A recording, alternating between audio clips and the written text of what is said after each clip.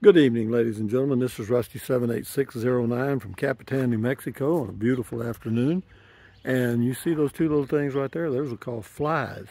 And uh, I, me, got me some of those fly strips the other day, and I did a video showing you about showing you the fly strips. You know, kind of the before. Well, this is the after. You know, flies, they drift in two or three at a time, but over a period of 24 hours, it's been two days. Let me show you what the results are. You're, not going to believe this. Look at this thing. You see that? It's covered with flies. I got three of them covered like. Now, where do you see this one? This is a, a, a stick. And that, that that's all flies. And in fact, they're begging to get in. You know what I mean? But they drift in during the day, two or three at a time.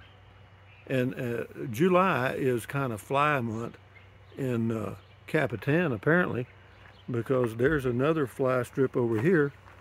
And look at this thing. No kidding. And I got another one over there in the same condition. But yeah, you don't notice them when you're sitting outside. You know, you see two or three flies at a time. But whenever you leave these things out overnight and all day long for two days, uh, you begin to realize how many freaking flies there are. Jesus H. Christ. But anyway, guys, just want to give you a quick update.